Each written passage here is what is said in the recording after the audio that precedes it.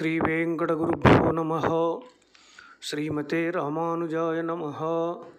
కృష్ణం వందే జగద్గురుం. శ్రీమద్భగవద్గీత పదిహేడు అధ్యాయములు పూర్తి చేసుకున్నాం. చిట్ట చివరి అధ్యాయము పద్దెనిమిదవ అధ్యాయము మోక్ష సన్యాస యోగము. అంటే దీంట్లో మోక్షము కొరకు సన్యాసము. అంటే మోక్షము అని అంటే రెండు అర్థములు చెప్పుకోవచ్చు. విడివడుట ఒకటి సంసార బంధము నుంచి బయటికి రావటం ఒకటి. అలాగే ముక్తిర్మోక్షో మహానంద. అంటే మోక్షం అంటే మహా ఆనందమైనటువంటి లోకానికి కూడా ఒక పేరు. ఈ రెండు అర్థాలు వచ్చేటట్లుగా ఉంటుంది. ఇది దీనిలో సన్యాసము అనేది అంటే విడివడటానికి కర్మలను విడిచిపెట్టాలి. ఫల తో సహా విడిచిపెట్టేసేయాలి కర్మలు. అప్పుడు కర్మబంధము నుండి విడివడతాడు మరి మోక్షాన్ని పొందాలి అని అంటే సతీన్యాసం అంటే పరమాత్మ ఎందు కర్మలను ఉంచాలి. ఇవి రెండు కూడా ఎప్పుడూ నడుస్తూనే ఉన్నాయి దీనిలో. చాలా వరకు ఆత్మ అనేటటువంటి వారు ఆత్మే పరమాత్మ ఒకటేననేవారు దాదాపుగా కర్మలను ఫలములను విడిచిపెట్టడం మాత్రమే అని చెబుతూ ఉంటారు. సంన్యాసము అంటారు. సమ్ అనేటటువంటిది ఉపసర్గ సమ్ అంటే అప్పుడు ఇది బిందువుతో ఉంటుంది. కానీ ఇక్కడ నకారము ఉండి దాని కింద మరల నకారము ఒత్తు ఉండి ఎకారము ఒత్తు ఉన్నట్లయితే సన్యాసము అని అంటే సతీన్యాసము అని అర్థం. సత్ అనేది పరమాత్మకు ఒక పేరు.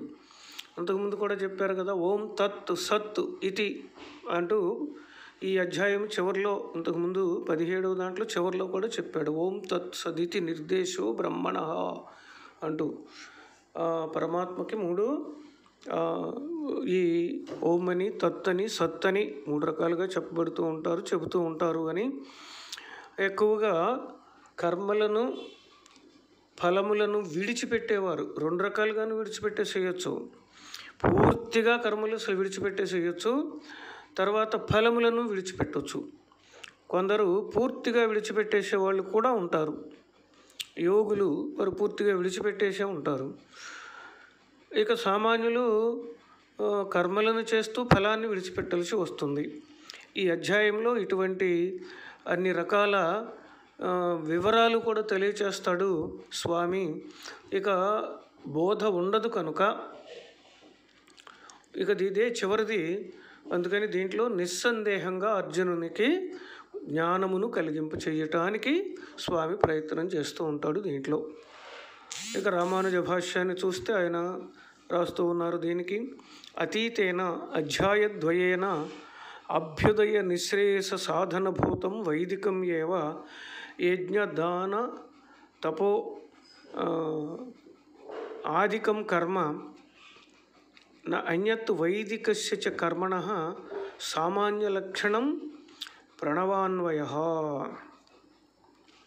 అంటే గడిచిన రెండు అధ్యాయాలు. అభ్యుదయ నిశ్రేయస సాధనభూతం. అంటే పదహారు పదిహేడు అధ్యాయములలో నిశ్రేయసము అంటే మోక్షము దానిని పొందటానికి వైదిక కర్మలు యజ్ఞము తపస్సు దానము ఇవే తప్ప ఇతర కర్మలు సాధించలేవు అని చెప్పారు. ఇక సామాన్య లక్షణము ఏమిటి వైదిక కర్మలకి అంటే ఓంకారముతో కలిసి ఉండుట. సామాన్య లక్షణం ప్రణవాన్వయ అన్నారాయన. వైదిక కర్మలన్నీ కూడా ఓంకారము ఓం అని ఉచ్చరించే ఆరంభిస్తూ ఉంటారు. అలాగే వేద మంత్రము కూడా ఓంకారంతోనే ఆరంభం అవుతూ ఉంటుంది. ఓంకారంతోనే పూర్తి కూడా అవుతూ ఉంటుంది. అందుకే మనకి వాల్మీకి రామాయణము అనేటటువంటిది లౌకిక కారణము అనేది చెప్పటానికి ఏమిటి కారణం అని అంటే ఇదే కారణం. అనుష్టుప్పు ఛందస్సు వైదికంలో కూడా ఉంటుంది. ఈశావాస్య ఉపనిషత్తులో చాలా శ్లోకాలు ఉన్నాయి. మొదటి ఉపనిషత్తే అది దాంట్లో చాలా శ్లోకాలు అనుష్టుప్ ఛందస్సులోనే ఉంటాయి. ఒక్కొక్క చోట ఎక్కువ ఉంటే ఉండొచ్చు అది వేరే. అయినా మరి ఎక్కువ లేనివైనా సరే మరి తేడా ఏంటి? అక్కడ ముప్పై రెండు అక్షరాలే ఇక్కడ ముప్పై రెండు అక్షరాలే అయినప్పుడు ఏమిటి తేడా అనంటే అంటే ఓంకారము ఈ లౌకికమైనటువంటి ఛందస్సుకి ఆదిలో ఉండదు. ఆ మంత్రము ఓం ఈశావాస్యమిదగుం సర్వం అంటూ చదవలసిందే. ఎత్కించ జగత్యాం జగతు తేన త్యక్తేన భుంజీధాహ మా గృధ కశ్యస్విధనం ఇది ఎనిమిదేసి అక్షరాలు ఉన్నటువంటిది నాలుగు పాదాలు ఉన్నది మొదటిదే మంత్రము. వాటిని మంత్రములు అంటారు. అలా ఉపనిషత్తులు కానీ వేదం కానీ. అలా ఇక రామాయణం వచ్చేటప్పటికి తపస్వాధ్యాయ నిరతం తపస్వి వాగ్విదాంబరం నారదం పరిపప్రచ్ఛ వాల్మీకిన్ మునిపుంగవం అంటూ ఈ శ్లోకము కానీ అసలు వాల్మీకి నోటి నుంచి ఇది రామాయణానికి మొదటి శ్లోకము. రా వాల్మీకి నోటి నుంచి వచ్చినటువంటిది మా నిషాద ప్రతిష్టాం త్వమగమశాశ్వతి సమాహ యత్క్రౌంచ మిథునాదేకం అవధీ కామమోహితం. ఇక్కడ కూడా ఓంకారం లేదు. అందుకే ఇది లౌకిక కావ్యము అని అంటారు. అందుకే వీటిని శ్లోకములు అని అంటారు. కనుక వేదము అనేటటువంటి ప్రక్రియ వేదమును మంత్రమును చదివిన వే వైదిక కర్మలను ఆచరించటము మొదలుపెట్టిన ఓంకారంతోనే ఆరంభిస్తూ ఉంటారు. ఇంకా మరి కొంతమంది హరిహి ఓం అంటూ హరిహి అనేది కూడా కలిపి దాదాపుగా చాలామంది ఇదే హరిహి ఓం అంటూనే మొదలు పెడుతూ ఉంటారు. అలాగే హరిహి ఓం తత్సత్ అంటూ ఆపేస్తూ ఉంటారు. ఇవి వైదిక కర్మములు అని తెలుసుకో. ఇవి సత్వవృద్ధిశ్చ సాత్వికాహార సేవయా ఇది ఉక్తం. ఇక ఇవన్నీ కూడా సత్వవృద్ధిని కల్పించేయి సాత్విక ఆహారమును తిన్నట్లయితే కలిగేవి. అంటే సత్వగుణాన్ని సత్వ గుణాన్ని వృద్ధి పొందించేయి. మరి సాత్విక ఆహారము ఇంతకుముందు చెప్పారు కదా ఇది చాలా ప్రశాంతమైనటువంటి స్థితిని కల్పించేటటువంటిది ఈ ఆహారము. దీనిని తింటే అది పెరుగుతూ ఉంటుంది. అనంతరం మోక్ష సాధనతయా నిర్దిష్టయో త్యాగ సన్యాసయో ఐక్యం త్యాగస్య సన్యాసస్య చ స్వరూపం. భగవతి సర్వేశ్వరే చ సర్వకర్మణాం కర్తృత్వ అనుసంధానం. సత్వరజస్తమసాం కార్యవర్ణనేన సత్వగుణస్య అవశ్య ఉపాధేయత్వం. ఇక ఏం చెబుతూ ఉన్నారు అని అంటే దీని యందు అనంతరం అంటే ఈ అధ్యాయంలో మోక్ష సాధనత. అంటే మోక్షానికి సాధనము అయినటువంటివి నిర్ణయించి చెబుతున్నారు త్యాగము సన్యాసము. ఇవి రెండు కలిసి ఒకటేనా? లేక త్యాగము సన్యాసము వేరువేరా? వీటి స్వరూపములు ఏమిటి? ఇక సర్వేశ్వరుని యందు సర్వకర్మలను కూడా ఉంచి అంటే సర్వేశ్వర అర్పణగా చేసి ఇలా చేయటం ఏమిటి? అలాగే సత్వరజస్ తమస్సుల యొక్క కార్యములు అవి ఎలా ఉంటాయి అనేవి స్వవర్ణ ఉచితానాం కర్మణాం పరమపురుష ఆరాధనభూతానాం పరమపురుష ప్రాప్తి నివర్తన ప్రకార కృత్స్న గీతాశాస్త్రస్య సారార్థో భక్తియోగ ఇది ఏతే ప్రతిపాద్యంతే. ఇక స్వవర్ణ ఉచితములైనటువంటి కర్మములు. ఈ స్వవర్ణములు అనేటటువంటిది ఏమిటి అంటే దీనికి మనకి రెండు రకాలుగాను కనిపిస్తూ ఉంటుంది అర్థం. స్వవర్ణం అంటే లోకంలో ఈ పుట్టేటటువంటిది ఎక్కడో ఒక చోట జన్మ వస్తూ ఉంటుంది. ఎవరి ఇళ్ళలోనే పుడతారు కదా? పుట్టేవారందరూ. అంతకు ముందే వారికి ఒక వర్ణము ఒక కులము అని అంటూ ఒక నిర్ణయం జరిగిపోయి ఉంటుంది. మరి ఆదిలో లేదు. తర్వాత తర్వాత వచ్చి నిర్ణయం జరిగిపోయిన తరువాత మరి ఇప్పుడు అంతా కూడా నిర్ణయాలు అయిపోయి ఉన్నాయి. ఏ ఇంట్లో పుడితే ఆ కులమే అని వ్యవహారం ఉంటుంది. మరి దీనికి తగినటువంటి పనులు అని అంటే చిన్నప్పటి నుంచి తండ్రిని చూసి నేర్చుకుంటూ ఉంటాడు కుమారుడు. ఏవైనా సరే ఏ పనులు ఎప్పటికైనా అంతే. చదువులు వచ్చేటప్పటికి ఇంకా వేరు వేరు చదువుకోవచ్చు. వాటికి నిషేధం అంటే ఏం లేదు. పూర్వకాలం ఏదో వేదం చదవకూడదు వేదం చదవకూడదు అనేవాళ్ళు. ఇప్పుడు అలాంటిదేం లేదు కదా. అసలు వేదం ఎవరు చదవాలి? ఎవరికి కావాలి అసలు? దానివల్ల పెద్ద ప్రయోజనము లేదు. అది ఏనాడో దాని ప్రయోజనము చాలా తగ్గిపోయింది. ఏదో ఇప్పుడు ఊరికే ఆ చెట్టు పేరు చెప్పి కాయలు అమ్ముకున్న సామెతే. మేము వేద పండితులు వేద పండితులు అని అంటే వేద పండితులు పెద్దగా ఎవరు కూడా ఇప్పుడు వారికి పిల్లనిచ్చేవాళ్ళు కూడా లేరు. వాళ్ళే ఈ ఓపోతూ ఉన్నారు. ఈ చదివి ఎందుకు ఇలా అయిపోయాము అని. సరే ఇక అవన్నీ మనకు అనవసరం. ఇక ఈ లోకంలో ఇలా నడిచేది నడిచిపోతూనే ఉంటుంది. ఇక రెండవది ఏమిటనంటే తనకి అంటే ఆత్మకు తగినటువంటిది ఏది? కర్మ. అంటే కొన్ని కొన్ని అలవాటు అయిపోయి ఉంటాయి. ఇక్కడ లౌకిక కర్మలను గురించి అసలు మనం దాదాపుగా ఏదైనా చదువుకోవచ్చు ఎవడేదైనా చేసుకోవచ్చు. పరమ పురుష ఆరాధనభూతంగా చేయాలి ఏ కర్మ చేసినా అని ఇక మోక్షాన్ని కోరేవారికైతే అసలు ఇక వీటిని గురించి ఎక్కువగా ఆలోచించాల్సిన అవసరం లేదు. ఏమిటి మరి మోక్షం కోరేవారికి కావలసిందని అంటే శ్రవణము. అంటే భగవంతుని కథలు వినటమా కీర్తనము వాటిని గానం చేయటమా స్మరణము పాదసేవనము అర్చనము వందనము దాస్యము సఖ్యము. ఇవి స్వవర్ణ ఉచితములు అని భాగవతం పన్నెండో స్కంధంలో చెప్పాడు సుఖమహర్షి అలాగే సుఖమహర్షి చెప్పాడు అని చెప్పి ఈయన శౌనకాది ఋషులకు సూతుడు చెబుతాడు. ఇంకా దాంట్లోకి వెళ్తే అసలు ఇంకా పన్నెండో అధ్యాయం దాదాపుగా జనక చక్రవర్తికి తొమ్మిది మంది వచ్చి బ్రహ్మవేత్తలు చెబుతారు. వీరంతా ఋషభుని సంతానం. ఋషభుడికి వంద మంది కుమారులు. వారిలో ఒక తొమ్మిది మంది బ్రహ్మవేత్తలు అయ్యారు అని చెప్పారు. తొమ్మిది మంది బ్రహ్మవేత్తలు అయ్యారు తర్వాత ఒక తొమ్మిది మంది తొమ్మిది ఖండములకు కూడా ప్రభువులయ్యారు. ఇక మిగిలినటువంటి ఎనభై రెండు మంది బ్రాహ్మణులయ్యారు అంటారు. మరి బ్రాహ్మణులు వేరు బ్రహ్మవేత్తలు వేరు అని ఆనాడే మనకు తెలిసిపోయి ఉన్నది.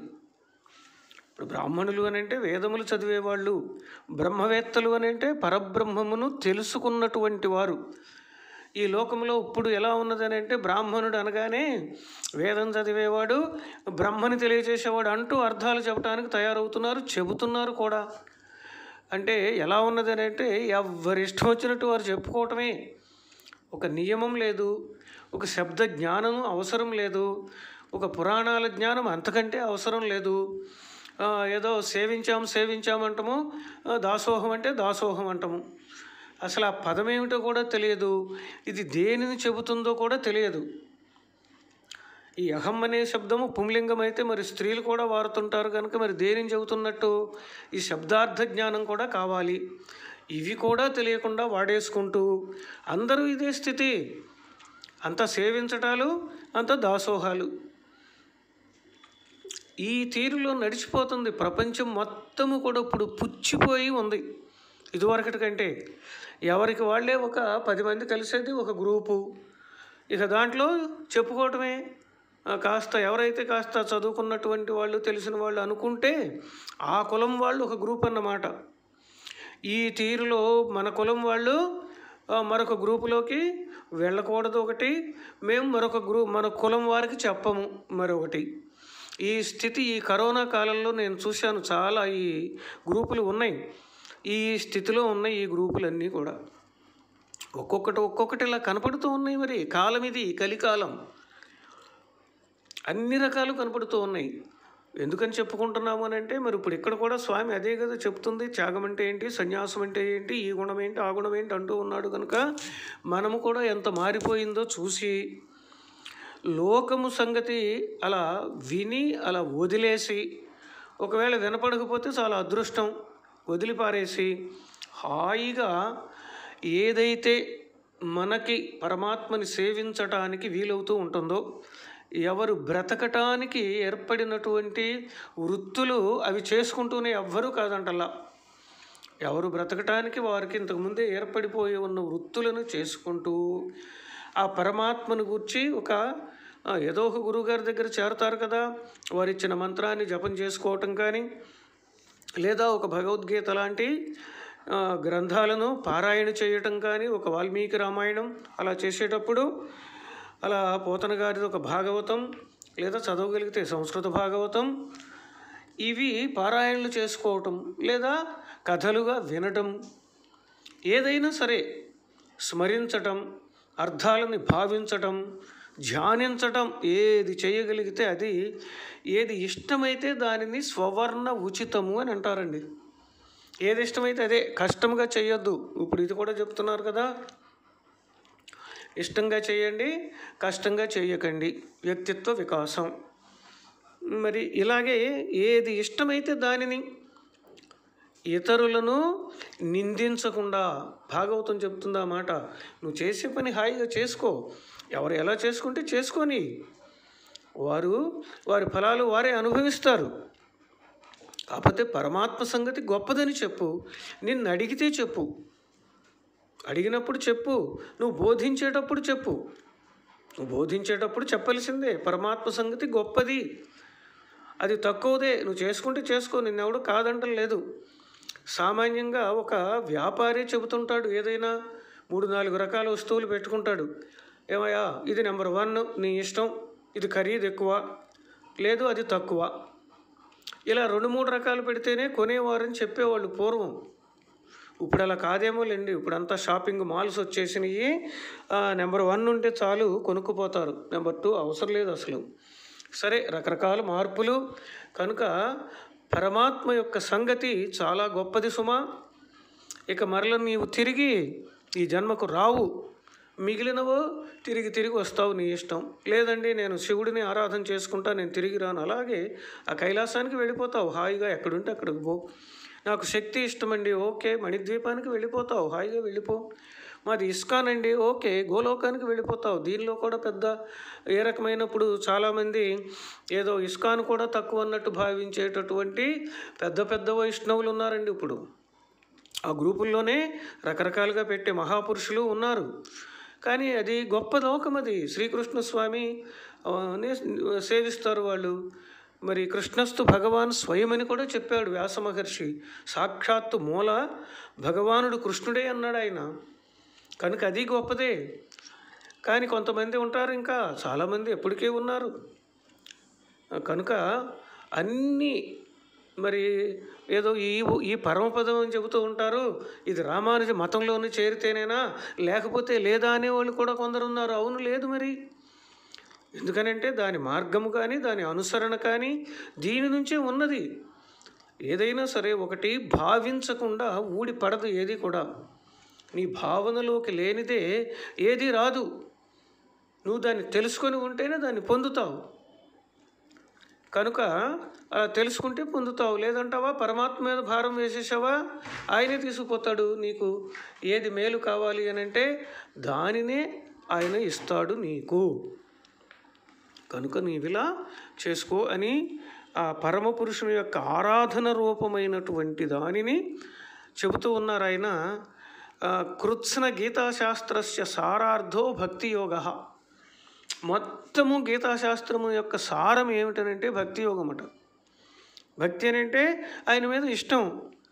అందుకే ఎక్కడ వరకే వచ్చింది ఇది అంటే నేను అందుకే చెప్తాను. రెండో అధ్యాయం నుంచి తొమ్మిదవ అధ్యాయం వరకే మొదటంతా ఆత్మ సంగతి చెప్పి తన విషయాన్ని ఆత్మ సంగతి ఐదు అధ్యాయాలలో చెప్పి అక్కడక్కడ కూడా పరమాత్మ సంగతి కొంచెం కొంచెం చెప్పుకుంటూ వచ్చి ఆ మిగిలిన మూడు అధ్యాయాలు కూడా పూర్తిగా పరమాత్మ యొక్క మాహాత్మ్యమును చక్కగా వర్ణించారు. తెలుసుకోవలసిన జ్ఞానము. ఇక పది ఏమిటనంటే ఆ పదవ అధ్యాయం మీద నేను అలా ఉన్నా ఇలా ఉన్నా అది జ్ఞానము. ఇలాంటిది ఈ మూడు అధ్యాయాలు లాంటిది కాదు. తెలుసుకోవాల్సిందే కాదంటలేదు. ఆ విశ్వరూపం అర్జునుడికి చూపించింది కాల విశ్వరూపం అసలు అది ఇప్పుడు అది ఎవరు చూస్తారు? భీష్ముడు ద్రోణుడు వీళ్ళందరూ చచ్చిపోతున్నారండి అని అంటే నీ లోపలికి వెళ్ళిపోతున్నారు. ఇప్పుడు ఆ విశ్వరూపం ఎవరికి కావాలి? అది మళ్ళీ చూడాలని అనుకుంటారా? ఎవరు అనుకోరు. ఆ విశ్వరూపాన్ని మళ్ళీ ఎవరు చూడాలని అనుకోరు. ఇక భగవంతుని విశ్వరూపం అనేటటువంటిది జ్ఞానం ద్వారా తెలుసుకోవాలి. ఇది ఒకటి గ్రహించండి. కానీ ఆ తేజస్సుని మాత్రం కోరితే కోరతారు. దివి సూర్య సహస్రస్య భవేత్ జుగపదుత్థిత యది భా సదృశీ సా స్యాత్ మహాత్మన ఆ మహా తేజస్సు నిండిపోయి ఉన్నది అని చెప్పారు. ఆ నిండిపోయిన తేజస్సు కోరొచ్చు. దాని నుంచి కనపడతాయి అర్జునుడికి అన్నీని. భీష్ముడు ద్రోణుడు కర్ణుడు వీళ్ళందరూ వెళ్ళిపోతున్నారు. మన సైన్యం వెళ్ళిపోతుంది. ఇప్పుడు అది అది కాదు కదా కావలసింది అది కాదు కదా చూపలసింది కనుక జ్ఞాననేత్రము చేత దర్శించతగినటువంటి భగవంతుని దివ్య మంగళ విగ్రహమే. ఇప్పుడు విశ్వరూపము అని అంటే దానిని హాయిగా దర్శించవచ్చు. వక్షస్థలమునందు లక్ష్మీదేవి వేంచేసి ఉన్నటువంటిది ఆ తల్లి. పద్మము ఉంటుంది అక్కడ పద్మమునందు వేంచేసి ఉంటుంది. అమ్మ సర్వాభరణ అలంకార భూషితయ్యై అలాగే శిరస్సున ఉన్న కిరీటము నుండి పాదముల వరకు కూడా అనేక ఆభరణములతో పుష్పించిన కల్పవృక్షములాగా అని అనేక వర్ణనలు ఉన్నాయి ఇంతకుముందు చాలాసార్లు చెప్పుకున్నాం. కనుక ఇవన్నీ కూడా స్వామి ఇలా చెప్పారు. భక్తి యోగమే ప్రధానమని చెప్పారు అని రామానుజుల వారి అభిప్రాయాన్ని తెలియచేశారు. మరి చివరిలో చర్మ శ్లోకాన్ని చెప్పారు కదా ప్రపత్తి అంటారు కదా అని అంటే పెద్ద తేడా ఏం లేదు దానికి దీనికి పరమాత్మ మీద భారమే అది ఇది కూడా ఇష్టమే ఇది ఆ భక్తి యోగము అనేది.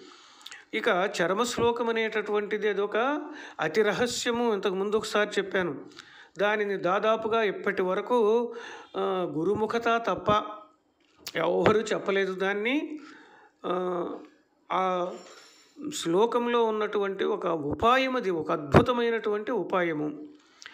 అది కావలసిన వాళ్ళు దాన్ని ఎలాగో సంపాదించుకుంటారు. కానీ ప్రధానంగా లోకమంతటికి కూడా ఇదే ఈ భక్తి యోగమే ప్రధానంగా కావాలి. ఉపనిషత్తులు చెప్పిన వేదాలు చెప్పిన బ్రహ్మసూత్రాలు చెప్పిన మొత్తం అంతా కూడా భక్తి యోగమే. భాగవతం అంతా భక్తి యోగమే. కనుక భక్తి యోగము అనేటటువంటిది అందరూ ఆచరించ తగినటువంటిది సుమా కేవలము ప్రపత్తి యోగాన్ని ఆ రహస్యాన్ని తెలియచేస్తే ఎవరు ఎలా మారిపోతారో కూడా తెలియదు. సోమరులై కూడా అయిపోతారు. చాలామంది ఏమైపోతారో తెలియదు. అందుకే దాన్ని శుశ్రూష చేసిన తర్వాతే చెప్పారు. రామానుజులు వారు కూడా ఆ గోపురం ఎక్కి నారాయణ అష్టాక్షరీ మంత్రాన్ని చెప్పారు. అప్పుడు కూడా చెప్పుకున్నాము ఆయన కథలో. ఒక సంవత్సర కాలము శుశ్రూష చేస్తే కానీ చెప్పలేదు. దాశరథి మేనల్లుడికి దాంట్లో సగము ఏమో ఆరు నెలలు చేస్తే కూరత్తాళ్వానికి చెప్పారు. అదిగో అంత విషయమది. కనుక దానిని బహిరంగంగా అది ప్రకటించేది కాదు కనుక భక్తి యోగము అని చెప్తున్నారు. ఈ తేడాను తెలుసుకోవాలి. ఇక వీటన్నింటిలో ఉన్నటువంటి వేరువేరుగా మరి ఏమిటివి అని చెప్పి ఇక్కడ అర్జునుడు అడగటంతో ఆరంభం అవుతూ ఉంటుంది. ఈ మోక్ష సన్యాస యోగము.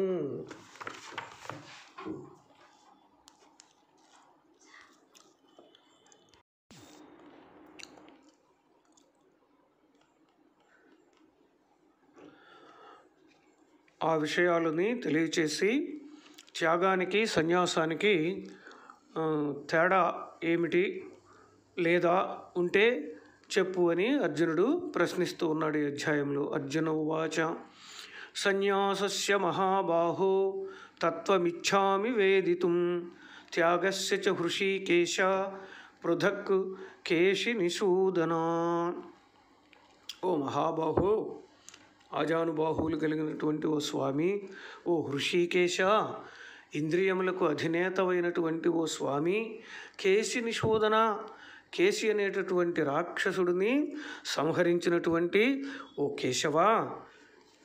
ఈ కేశి అనేటటువంటి వాడు చాలా భయంకరమైనటువంటి వాడు అన్నమాట. ఈ రాక్షసుడు అందుకే ఇతడిని ప్రత్యేకించి కూడా చెబుతారు మనకి భాగవతంలో. పోతనతో మొదలవుతుంది స్వామి మీదకి వైరి వర్గాన్ని తోలటం కంసుడు. వరుసనే తోలేస్తూ ఉంటే వరుసనే వస్తూ ఉంటారు. పోతన తృణావర్తుడు అఘాసురుడు బకాసురుడు ఇలా చెట్ట చివరికి వచ్చినటువంటి వాడు కేసి. వాడితో వాడితో ఆఖరన్నమాట అయిపోయింది. బయటికి పంపించే వాళ్ళు రాక్షసులు మొత్తం అయిపోతారు. కనుక వీడు మహాభయంకరుడట ఈ కేసి అనేవాడు. అందుకే చివరికి బ్రహ్మాస్త్రంలాగా వదిలాడు కంసుడు. అది కంసుడు బ్రహ్మాస్త్రంలేండి అలా కేశిని శోధన ఆ- కేశి అనేటటువంటి రాక్షసుడిని సంహరించినటువంటి వాడా? ఓ స్వామి. సన్యాసము అలాగే త్యాగము. వీటి యొక్క తత్వము వేదితం ఇచ్చామి. అసలు వీటి యొక్క స్వరూపం ఏమిటి? యథార్థంగా సన్యాసము అంటే ఏమిటి? త్యాగము అంటే ఏమిటి? ఇవి వినపడుతూ ఉన్నాయి. ఎందుకంటే ఉపనిషత్తుల్లో కూడా వినపడుతూ ఉన్నాయి. న కర్మణ న ప్రజయా ధనేన త్యాగే నైకే అమృతత్వ మానసు మహానారాయణ ఉపనిషత్తు. ఇది దీంట్లో కర్మచేత కర్మ చేత కానీ సంతానము చేత కానీ ధనము చేత కానీ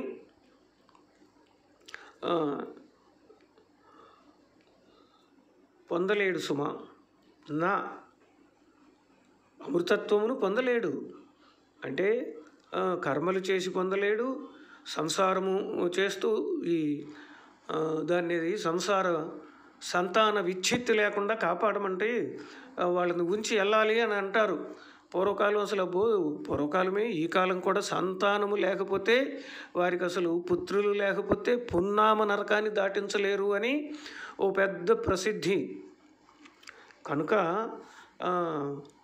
పుత్రులు లేని ఆ సుకునకున్ పాటిల్లనే దుర్గతులు అంటారు. మరి పుత్రులు లేకపోతే సుఖమహర్షికి ఏమైనా దుర్గతులు వచ్చినాయా? లేదా వంద మంది కొడుకులున్నా ధృతరాష్ట్రుడికి ఏమైనా సుగతి వచ్చిందా? మంచిగా మంచి గతి వచ్చిందా? ధృతరాష్ట్రుడికి ఏమన్నా మోక్షం వచ్చిందా? వంద మంది ఉన్నా తాలకొరుగు పెట్టడానికి ఒక్కడు కూడా లేడు. అలాగే కొడుకులు లేకపోయినా సుఖమహర్షికి దుర్గతి ఏమీ రాలేదు. మహాపురుషుడు ఆయన ఆయనకేమి. అలాగే సంతానము చేతనే అమృతత్వం వచ్చేదని అనుకునేవాళ్ళు పూర్వం. ధనము చేత ధనాన్ని దానాలు చేసి పొందవచ్చు అనుకునేవాళ్ళు. కానీ అలా నా పొందలేరు సుమా. త్యాగేన ఏకే అమృతత్వ మానసు ఒక త్యాగము చేత మాత్రమే. త్యాగము చేతనే మోక్షాన్ని పొందగలరు అని చెబుతూ ఉన్నది త్యాగ శబ్దం అక్కడ. శబ్దం వరకు మనం చూసుకుందాం. ఇక మరొకటి ముండక ఉపనిషత్తు. వేదాంత విజ్ఞాన సునిశ్చితార్థా సన్యాస యోగాద్యతయ శుద్ధ తే బ్రహ్మలోకే తు పరాంతకాలే పరామృతా పరిముచ్యంతి సర్వే. ఇక వేదాంత విజ్ఞానము తెలిసినటువంటి వాళ్ళు శుద్ధసత్వులు ఇక బ్రహ్మలోకమును వీరు సన్యాస యోగము కలిగినటువంటి వారై పొందుతూ ఉన్నారు సుమా. వీరు ఇక్కడ ఈ లోకము నుంచి కర్మల నుండి కూడా పరిమృత్యంతి విడిపడుతూ ఉన్నారు. అమృతత్వమును పొందుతూ ఉన్నారు అని చెబుతూ ఉన్నది ఈ ఉపనిషత్తు. కనుక త్యాగ శబ్దము సన్యాస శబ్దము కూడా వేరువేరుగా ఉపనిషత్తుల్లో చెప్పబడి ఉన్నాయి స్వామి. అవి ఏమిటి అన్నారు ఆయన. అంటే స్వామి చెప్తూ ఉన్నారు శ్రీ భగవాన్ వాచ కామ్యానాం కర్మణాం న్యాసం సన్యాసం కవయో విదు. సర్వకర్మఫలత్యాగం ప్రాహుస్త్యాగం విచక్షణా. కొందరు చెబుతూ ఉన్నారు అంటూ ఉన్నాడు ఆయన. కవయ అంటే జ్ఞానులు విచక్షణ అంటే విజ్ఞానులు. జ్ఞానులు విజ్ఞానులు ఏం చెప్తూ ఉన్నారు? కామ్యకర్మలను విడిచిపెట్టటము కామ్యకర్మలు కోరికలతో చేసే పనులను విడిచిపెట్టటము సన్యాసము అని చెబుతూ ఉన్నారు కొందరు జ్ఞానులు. సర్వకర్మ ఫలమును త్యజించటము త్యాగము అని కొంతమంది విచక్షణులు విజ్ఞానులు చెబుతూ ఉన్నారు. అర్జున! అని తర్వాతిక ఆయన ఏం చెప్తారో తర్వాత చెప్తారు స్వామి. ఆ తర్వాత విందాం. జై రామానుజ! జై శ్రీకృష్ణ! కృష్ణం వందే జగద్గురుం శ్రీకృష్ణ శరణం